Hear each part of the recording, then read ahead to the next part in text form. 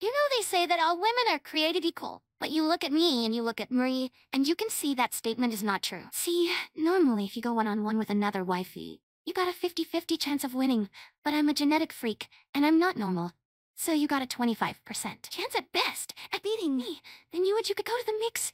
Your chances of winning drastic go down. See the three-way at Persona 4. Golden, you got a 33 and a third chance of winning, but I, I got a 66 and two-thirds chance of winning. Because Yukiko knows she can't beat me and she's not even gonna try.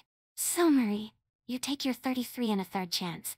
Minus my 25% chance and you got an 8 and one-thirds chance of winning at Persona 4 Golden. But then you take my 75% chance of winning if we was to go one-on-one. -on -one. And then, at 66 two-thirds percents, I got 141 and two-thirds chance of winning at Persona 4 Golden.